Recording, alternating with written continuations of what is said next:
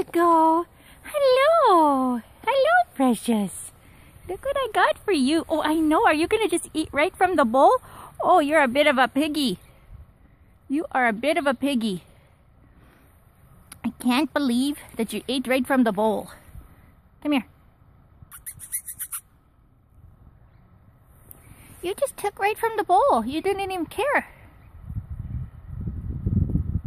Where's your brothers and sisters? They're not out here today with you. What are you doing? What are you doing? Don't be chewing my boots. What are you doing? Okay, here. No, no, hang on. Let me get you a piece. Because you're going to just jump from the bowl. There you go. Oh, that's a good boy. Now you stop pooping off my sidewalk because there's poop everywhere. And I got to go to work. So okay, say goodbye. Bye now.